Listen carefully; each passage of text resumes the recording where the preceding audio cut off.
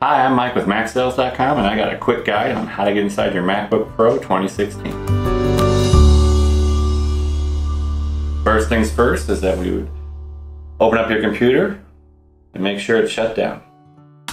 Alright, so after your computer is definitely shut down, because uh, you don't want to open a computer that isn't shut down, that could actually be bad. So uh, pretty much I just set my laptops on a small surface, whether it's like a little leather patch or some type of thing. Uh, usually anti-static surface is the best that you're gonna want. The tools required are a Pentalobe compatible screwdriver and a suction cup. And I'll link to the, both those products where they're available below.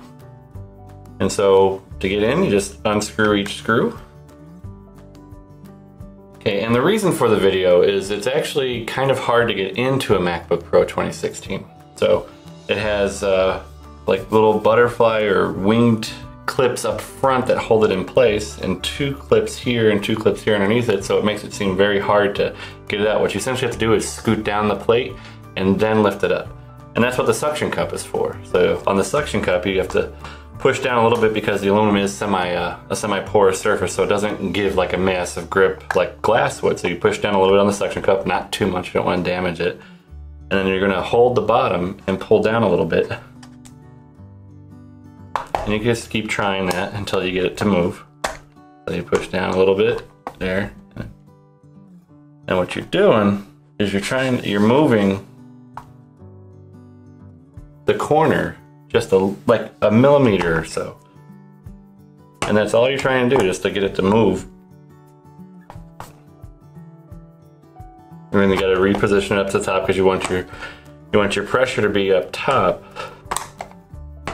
up here and you push down. And then you get this little bit of clearance you're going to see here start to develop. And you just keep going back and forth until you get that clearance on both sides. And usually it'll snap just a little bit where it finally moves. You feel it give and there.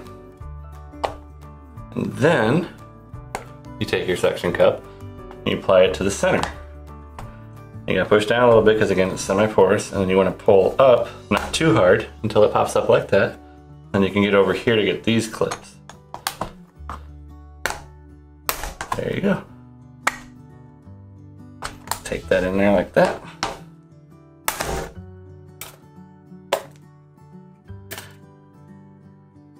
And you're in. Now, there is a trick to putting it back on. It's not simply just reverse the instructions. So lining it up can sometimes be a little bit of a pistol, but not too bad. You just take your time, like right around there. It's you really, it's like a millimeter gap you're trying to keep. And so you just want to get it so it comes back and slides in a little bit. There, and you'll, it'll feel like it's seating or you know, push in there. So you just kind of push on the on the back edge a little bit. Or you can do like that with your full hand and then you see it just slides in.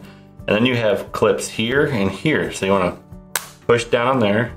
And these are a little bit smaller, lighter clips. These are the more robust clips on there. So you push lightly in there. And then you just put your screws back in. And then after your, your, all your screws are put in, you just double check all your seams to make sure they're nice and clean. Double check the pushing in. Make sure the clips are seated. And that is how to get into your 2016 MacBook Pro simply, easily, and safely.